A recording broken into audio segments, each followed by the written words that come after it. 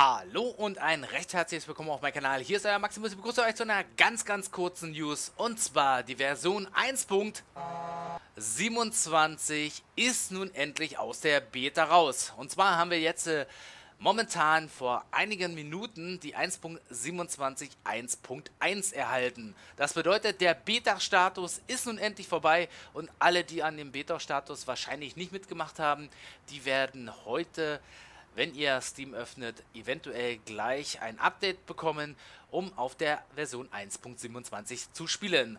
Vorab möchte ich aber nochmal sagen, es kann natürlich zu Problemen führen, wenn Leute sehr viele Mods drin haben, die für die Version 1.26 ja, laufen. Deswegen macht am besten alle eure Mods raus. Ihr merkt schon, ab und zu ruckelt es hier, weil ein Mod wahrscheinlich bei mir ein wenig Konflikte verursacht. Wann der Multiplayer nun endlich losgeht, könnt ihr gerne unten in den Kommentaren reinschreiben. Des Weiteren könnt ihr auch reinschreiben, wenn natürlich die erste Pro-Mods wieder am Start ist, dass wir dann auch wieder da ein bisschen loslegen können. Das wollte ich euch eigentlich nur ganz kurz sagen, dass die Version 1.27 am Start sind, weil ich ja immer wieder so oft gefragt wurde, was da alles neu implementiert wurde. Darüber habe ich ja schon mal ein Video gemacht. Guckt mal einfach auf die News die ich ja sonst immer so mache. Und ja, das soll es gewesen sein. Kurzes Video. Die 1.27 ist da. Haut rein, weil Maximus hat Hunger, will jetzt erstmal eine Bockwurst essen. Bis zum nächsten Mal. Bye, bye.